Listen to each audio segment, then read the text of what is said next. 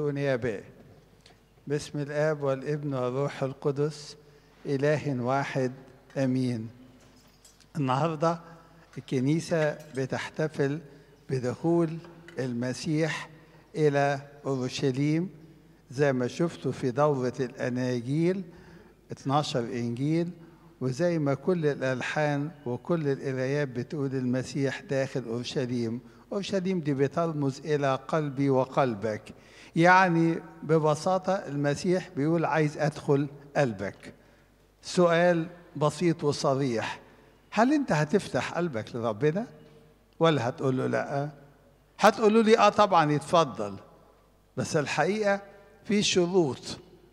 في حاجات بتقول إن أنت فعلا صادق في كلامك ولا لأ. تعالوا نشوف القصة نفسها اللي سمعناها دلوقتي حالا إنه المسيح قال لاثنين من تلاميذه روحوا البلد. هم كانوا ماشيين في الطريق رايحين على أورشليم عدوا على قرية اسمها بيت فاجي.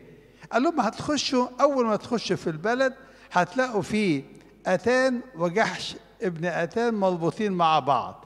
ففكوهم الاثنين دول وهاتوهم لو حد قال لكم أنتوا بتعملوا إيه؟ قولوا لهم الرب محتاج ليهم. وهنا السؤال. لو كنت انت مكان الاثنين دول تسمع الكلام؟ ولا هتقول بس يعني إزاي؟ الله هروح كده بلد وأدخل فيها وأخد أتان اللي هي انثى الحمار والجحش وأمشي زي يعني تخيلوا أحد الآباء الكهنة من الكنيسة هنا عندنا. أبونا مثلا داوود معروف وموثوق فيه مية في المية. قال لك يا فلان روح هتلاقي في روكسي في كلب مربوط عند المحل الفلاني فكه وتعالى. هتسمع كلامه؟ آه ده أبونا مضمون ومعروف مش بيضحك عليك. ولا تقول لأ بس بالعقل إزاي يعني؟ الله هيقول عليا حرامي. يمسكوني. بلاش يقبضوا عليا ويسلموني للبوليس هيضربوني علقة. ما هو طب بس إزاي يعني؟ ما هو ما كلام مش منطقي. فعلا هو كلام مش منطقي. وبعدين هاجد نفسي الله طب أنا معرض هيمسكوني يضربوني. الله طب أنا إزاي يعني؟ هجد إن في حاجات كتير هتعطلني. ولكن ليه الاثنين دول اطاعوا طاعة ضد العقل. إزاي أخضع عقلهم لربنا وقالوا حاضر؟ إزاي؟ لأنهم حبوا ربنا حبوا الرب يسوع وأمنوا وثقوا إن هو كلامه صح. خلي بالكم ده المسيح يسوع ماشي بالجسد مش ربنا في مجده لا ده في صورة متضعة جدا. زي ما حضرتك بتقرأ الكتاب المقدس اللي بنقرأه دلوقتي ولقيت آية الآية لقيتها صعبة شوية. هتنفذها؟ هتقول حاضر ولا هتقول لأ؟ هنا يبان بقى أنت ابن ربنا وعايز يدخل قلبك ولا لأ؟ عندك استعداد تطاوع؟ ما هي الطاعة؟ هي الطاعة هي قبول أمر أنا غير مقتنع به. ما لو مقتنع أنا هعمله وأنا استناكم ما أنا طبيعي هعمله. لكن كوني أقول حاضر على حاجة أنا مش مقتنع بيها هي دي اسمها الطاعة. الطاعة دي شرط أساسي للطريق مع الله للسير مع الله. تعالوا كده مثلا شوفوا واحد زي آدم اطرد من الجنة. وهو مطرود من الجنة المسيح ربنا يسوع قصدي ظهر معاه إزاي؟ إنه ربنا قال له تعالى وذبح حيوان. قال له إيه الورق اللي أنت حاطه ده على جسمك ده؟ أنت وحواء. وذبح حيوان وسلخه وخد الجلد وعملهم اقمصه وقال له بقى هو ده اللي يرضيني. تذبح الحيوان ده. ويظل آدم بعد خروجه مطرودا من الجنة دايما يقدم الذبيحة الحيوانية. ويحكي لنا الكتاب المقدس بعد كده بقى إن استلم الموضوع ده من آدم وكل من بعده أنه بدون سفك دم لا تحصل مغفرة. وهابيل سمع الكلام أطاع. ليه؟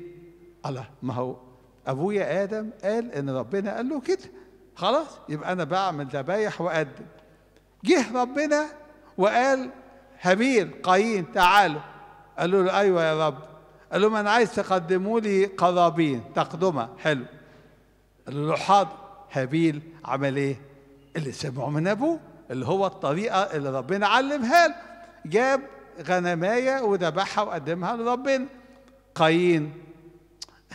قال هنقعد بقى الكلام بتاع بابا ده وبتاع ربنا مش مهم يعني. الله شوية زرع أنا فلاح وبشتغل في الغيط. يعني شوية زرع يكفوا يعني لازم بالشكل اللي قاله ربنا يعني لازم حيوان ونذبحه وخد الزرع وقدمه فربنا قبل ذبيحة هابيل وقايين قالوا لا قايين اتغاظ الله ليه؟ ده أنت ما طوعتش. أنت عملت اللي في دماغك. تتغاظ ليه؟ لا ما كنت عايز ربنا يقبلها. الله. يقبل حاجة أنت مش عايز تطوع فيها. وبعدين ربنا ينبهه قال له يا ابني خلي بالك خلي بالك. عند الباب خطية رابضة وإليك اشتياقها وأنت تسود عليها. خلي بالك في خطية أهو أنت هتقع فيها. ما سمعش الكلام. وقام وقتل أخوه. إيه اللي بيحصل ده؟ الطاعة هي طريق القديسين. نوح بعد سنين جه نوح ده وربنا قال له العالم فسد يا نوح اعمل فلك. فلك دي مركب بتعمل جنب البحر. لا لا لا لا في وسط الأرض اقعد اعملها. ناس هيقول لك بتعمل إيه؟ قول لهم أنا بعمل فلك عشان ربنا هيغرق الدنيا كلها بالمطر. والناس كلها هتغرق. ضحكوا عليه. الراجل ده بيقول إيه؟ قال لهم ربنا قال كده. يلا توبوا تعالوا ارجعوا. مفيش فايدة. قعد يعمل في الفلك قد إيه؟ 120 سنة. وكل الناس معدية عليه وتضحك عليه. ما حدش عايز يصدق. الوحيد اللي طاوع هو نوح. هو وعيلته هما اللي دخلوا الفلك ودول اللي نجوا ليه؟ طوعوا. بس ما الموضوع أصله واضح. بلاش كده. إبراهيم. إبراهيم ربنا قال له سيب أهلك وعشيرتك وناسك واطلع على الصحراء. فين؟ لا هقول لك عليه. قال له حاضر. ويقول لنا بولس الرسول في رسالة العبرانية اصحاح 11 إن إبراهيم خرج إلى حيث لا يعلم. مش عارف رايح فين. إزاي؟ ما ربنا قال كده. ربنا قال لي اخرج أنا خرجت. لو ما كان إبراهيم هتقول حاضر؟ يعني سبت بقى بيتك اللي أنت قاعد فيه دلوقتي اطلع على الصحراء اللي جنبينا هنا واقعد هناك. فين؟ ربنا هيشاور لك. وبعدين طلع فعلا إبراهيم في الصحراء قال له شايف إيه قدام؟ ورا يمين شمال. قال له رمل. قال له كل بقى ده أنا هديهولك. ونسلك هيبقى زي الرمل ده. قال له حاضر. مصدق؟ آه طبعا مصدق. إيه ده؟ إيه اللي بيحصل ده؟ إيه الناس الحلوة دي زي بتطوع ربنا الدرجات. لا اسمعوا دي بقى. وإبراهيم كمان بعد ما ربنا قال له أنت عملت ليه العمده بتاعت إسحاق دي. أنا قلت لك لا أنا قلت لك بإسحاق يدعى لك نسل. ومشى إسماعيل. وفضل إسحاق وكبر إسحاق. بقى سنه يعني عدى الثلاثين يعني راجل كبير. قال له خد ابنك وحيدك حبيبك إسحاق وقدمه لي محرقة. قال له حاضر. طب إزاي؟ راجل كبير. سنه أكتر من 130 سنة. ويطلع عشان يذبح ابنه؟ طب إزاي؟ طب طب هو جه على قلبه. ما قالش لمراته طبعا هيقول لها إزاي؟ ده حاجة ما تحتملش يعني. وبعدين أنت محتمل إزاي؟ طب وبعدين المواعيد هتتب إزاي؟ اللي ربنا قالها بإسحاق يدعى لك نسل. هل آمن إن ربنا ممكن يقيم إسحاق من الموت؟ ما نعرفش. اللي هو أهم حاجة طاوع. ربنا قال كده يبقى هسمع الكلام. والسؤال ما زال يتردد ليا وليك. هل أنت مستعد تطاوع؟ طوع مين؟ ربنا. عشان ما تقوليش ما هطوع أي حد. لا لا بقول ربنا.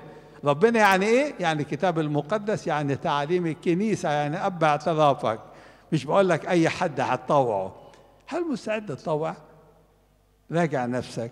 هو ده بقى اللي يخلي ربنا يدخل قلبك ويستريح جوه قلبك. ده التدريب اللي انت ممكن تتأكد منه من خلال قراءات وألحان وتسابيح أسبوع الالام كله. هتشوف الهنا الذي أطاع حتى الموت موت الصليب. عشان يكون مثال ليا وليكم لو إحنا طوعنا هنجد كل شيء هيدخل الله إلى قلبي ويملأه ويشبعني ويفرحني ويكون لي مكان معاه في السماء لإلهنا كل مجد وكرامة من الآن وإلى الأبد